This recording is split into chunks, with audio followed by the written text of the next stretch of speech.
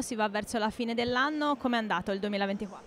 Il, nonostante le tensioni internazionali e la crisi, noi abbiamo dei dati ancora molto positivi, quindi mh, con cauto ottimismo vediamo un futuro molto, molto promettente per il nostro interporto. Quanto è automatizzato, quanta tecnologia e quanta intelligenza artificiale c'è oggi all'interporto di Padova? Eh, ovviamente eh, noi completeremo entro marzo l'automazione, la, quindi avremo un fascio di gura portale completamente automatizzate e questo ci ha predisposto per poter far partire l'altro progetto che è quello di intelligenza artificiale, più precisamente di machine learning. Noi puntiamo a un saving attorno al 30% che vuol dire eh, meno gasolio, meno energia elettrica e più sicurezza.